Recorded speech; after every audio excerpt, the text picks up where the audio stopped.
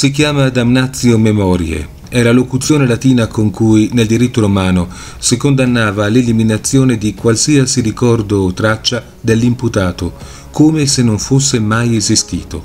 Di lui non doveva restare alcuna memoria.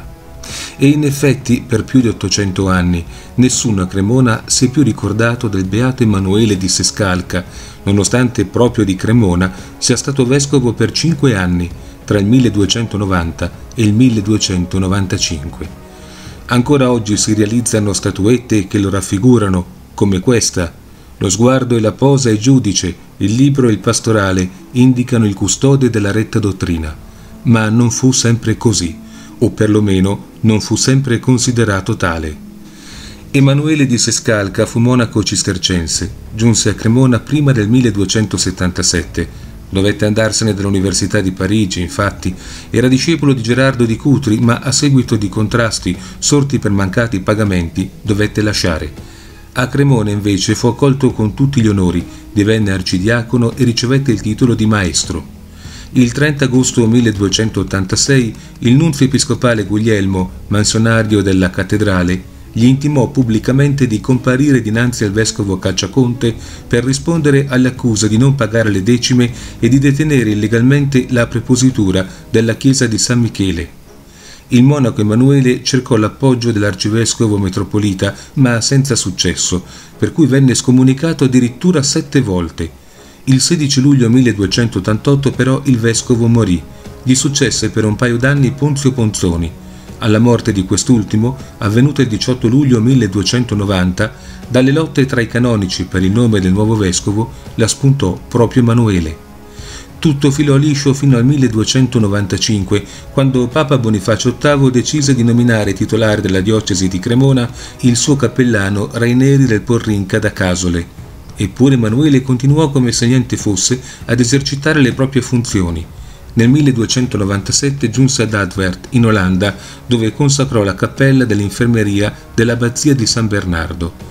Qui morì in odore di santità il 1 ottobre 1298.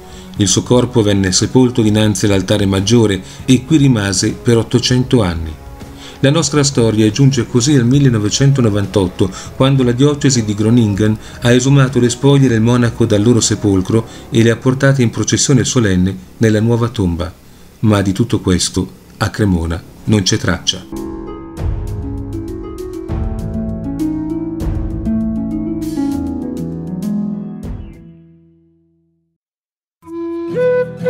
Panorama affitto di eventi a Cremona per queste festività pasquali. Innanzitutto in Galleria 25 aprile è tornata la tradizionale Fiera del Libro, prevista sino al primo maggio con libri, riviste, pubblicazioni e video proposti al pubblico sulle consuete bancarelle, nonché eventi, incontri e conferenze nella sala eventi di Spazio Comune in piazza Stradivari a Cremona. E sempre in piazza Stradivari domani tornano i mercatini dalle ore 8 alle ore 19 sul tema Le quattro stagioni di Cremona. A Soresina invece il tradizionale mercato dell'Angelo in via Genala e in piazza Garibaldi, con artisti di strada, musica, banda e giochi. Fino a domani è possibile visitare la mostra Scatole Magiche, strumenti e alchimie per creare immagini, promossa dagli ex della Selli presso il Museo di Storia Naturale a Cremona nell'ambito del ciclo Tra Scienza e Fantascienza, curata da Giuseppe Begarelli e Giuliano Regis.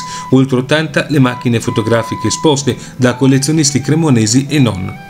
Proseguono intanto le visite guidate a Cremona in cattedrale, aperta anche durante la pausa pranzo, per ammirare gli aspetti architettonici e artistici con particolare attenzione alle opere di Giovanni Antonio De Sacchis, detto il Pordenone, e al ciclo cirquecentesco nella navata centrale. Sino al 10 giugno turisti e curiosi verranno accompagnati dai volontari del Touring Club.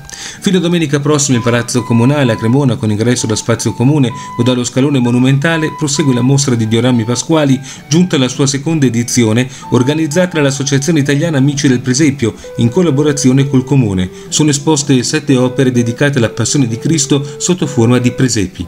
Fino al 28 aprile presso il Museo della Civiltà Contadina il Cambonino Vecchio prosegue la mostra Piccole opere di arte sacra, tutte incentrate sulla Pasqua e sui suoi simboli. Fino a dopodomani presso la sede dell'Archivio di Stato, nell'ambito della giornata del paesaggio, prosegue la mostra iconografica e documentaria Il paesaggio nel cuore della città, storia, fra testi e immagini dei giardini pubblici.